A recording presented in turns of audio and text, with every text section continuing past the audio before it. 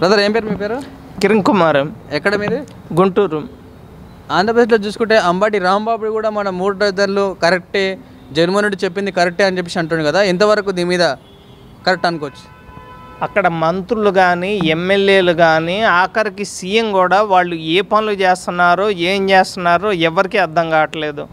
అంబటి రాంబాబు అనే అతను నీటిపారుదల శాఖ మంత్రి.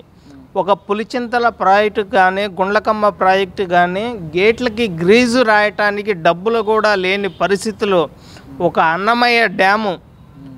అసలు అది కూలిపోయి అసలు ఎంతోమంది చనిపోతే ఇంత మట్టికి వాళ్ళని పట్టించుకున్న పాపాన బాలేదు.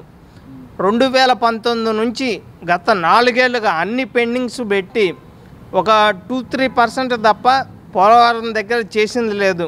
ఇంతకు ముందు ఉన్న అనిల్ కుమార్ యాదవ్ కూడా మాట్లాడే మాటలు అక్కడ వంద అడుగుల బొమ్మ కడతాము పట్టుబట్టలు పెడతాము అన్నారు. ఇప్పుడు రీసెంట్గా అక్కడ ఫైవ్ స్టార్ హోటల్ కడతాం అంటున్నారు.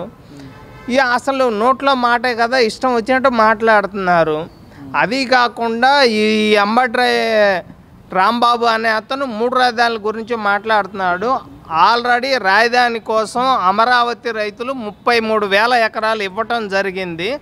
ఇచ్చిన తర్వాత సిఆర్డిఏ అప్రూవల్ ద్వారా అసలు ఈ కేసు కోర్టులో సుప్రీంకోర్టులో నడుస్తుంది. అది తీర్పు కూడా ఇంకా కొన్ని నెలల్లో ఒక వన్ మంత్లో వచ్చింది దాని గురించి తెలియకుండా ఇక్కడ ప్రజలు ఉన్న సమస్యలు పట్టించుకోకుండా ఇష్టం వచ్చినట్టు మాట్లాడడం వాళ్ళకి ఏం లేదు. టైంపాస్ రాజకీయాలు డబ్బు సంపాదించుకోవడానికి ఒక రాష్ట్రంలో అధికారం కావాలి ఒక రాష్ట్రంలో వీళ్ళకి ఇండస్ట్రీస్ ఉండాలి.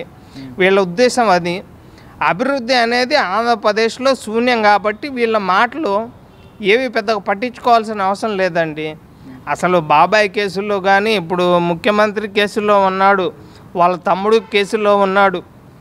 రాయదాని మేము ఈ నాలుగేళ్ళుగా కోర్టు చుట్టూ పోలీస్ స్టేషన్ చుట్టూ హాస్పిటల్ చుట్టూ తిరగటమే తప్ప మేము ఎక్కడ అసలు అక్కడ అభివృద్ధి ఉద్యోగాల గురించి కానీ ఉద్యోగస్తుల జీతాల గురించి కానీ ఇండస్ట్రీస్ గురించి కానీ ఇప్పుడు పోర్ట్లు పెడతాడు శంకుస్థాపన చేస్తాడు కొబ్బరికాయలు కొడతాడు అంతా నాశనమే తప్ప డెవలప్మెంట్ ఏమీ లేదు అంతా శూన్యం.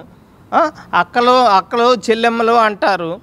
అసలు ఉన్న ఇంట్లో చెల్లిని తల్లిని అసలు పక్క రాష్ట్రాల్లో పంపించేసి అభివృద్ధి చేస్తాము మేము ఏదో చేస్తాము అంటే ఆంధ్రప్రదేశ్లో ప్రజలు ఎవరు నమ్మే పరిస్థితిలో లేదు. కాంగ్రెస్కు ఏ గతి అయితే పట్టిందో రెండు వేల పద్నాలుగులో ఇరవై నాలుగులో వైఎస్ఆర్ కాంగ్రెస్ కూడా అదే గతి పడుతుంది అనే మాట వాస్తవం అండి. జగన్మోహన్ రెడ్డి ఒక్కసారి గెలిచినందుకే మూడు రాజధానులు కదా ఇంకోసారి గెలిస్తే పది రోజులు అంటాడు అనేసి అనుకోవచ్చా మెయిన్గా?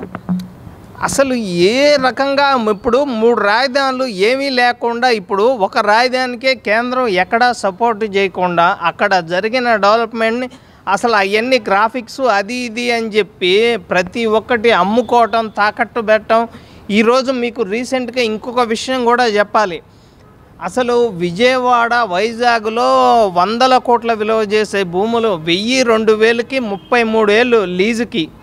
ఇరవై ఆరు జిల్లాల్లో దాదాపుగా యాభై రెండు ఎకరాలు పదిహేడు లక్షలకి వీళ్ళు తీసుకున్నారు అంటే అక్కడ అరాచక పాలన ఎంతగా ఉందో మీరు అందరూ తెలుసుకోవాల్సిందిగా మేమైతే కోరుకుంటున్నాం.